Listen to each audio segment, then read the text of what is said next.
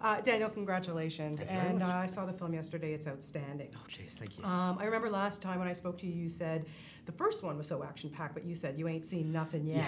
yeah, I was right, wasn't I? You were totally Yeah. right. What, in your opinion, sets the two, you know, part one and two apart? What are fans going to expect from this? Part part one is comparatively kind of like a slow burning drama. Like it is this is this is this is an all out action film with moments of intense emotional drama interspersed. I mean, it's it's that's what you can expect from this. I mean, it's a it's a I've said it before, but it's a heist movie that turns into a war film, um, and. Uh, it's it's pretty fantastic. I mean, I was very pleased, and I'm, I'm normally a very harsh judge of these films, but um, I was very very pleased with it. What ultimately challenged you making this one?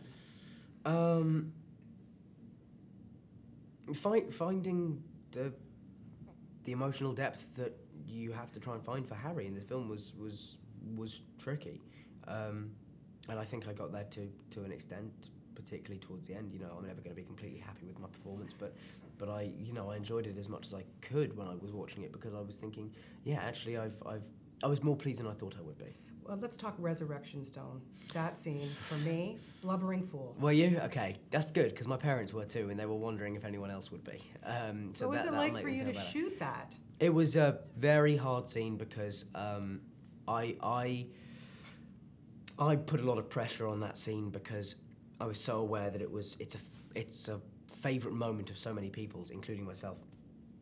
Um, that I was so conscious that of wanting to get it right that I think on the day I ended up getting more frustrated with myself. But um, but I think in the end, what's on actually on screen turned out turned out really really well, and I'm encouraged by your response. Thank you. Oh, you're welcome. Um, you know, after all these years, I, I'm just wondering, you know, and, and growing up, being Harry, and, and what is the thing, or the most important thing, that you can take away from all of this experience? Um, I mean, the memories, I suppose, the memories of of of my time on the set and with my, those friends, and, and and friendships, you know, that will last the rest of my life.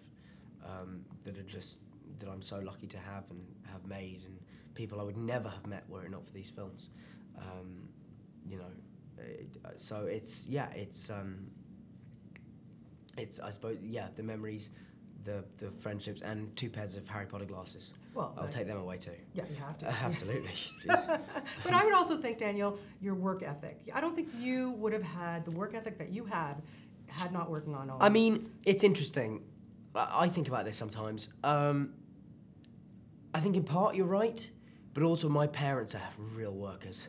Um, the uh, dad's Irish, mum's Jewish, so those, that's working blood.